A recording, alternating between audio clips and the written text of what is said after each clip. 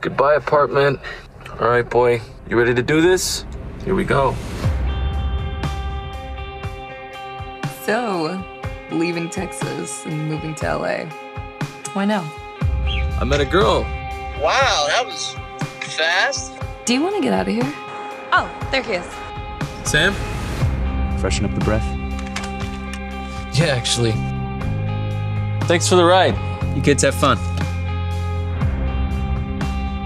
You know, man, I think you drove me home last night. Uh, we should grab a beer sometime.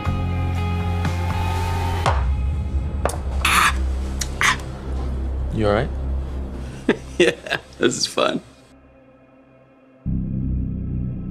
Is that him again? He's calling me this time. Uh, what are you doing today? You want to hang? I'm, I think I'm just gonna stay in today, though. I feel you. I feel you. Nicely done. Thanks. Like somebody has a new best friend.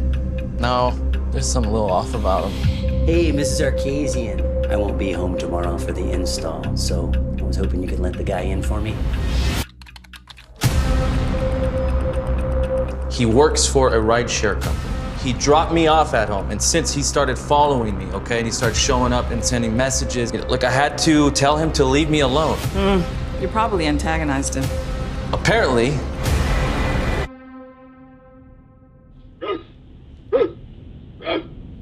Where's my dog? You've got bigger fish to fry.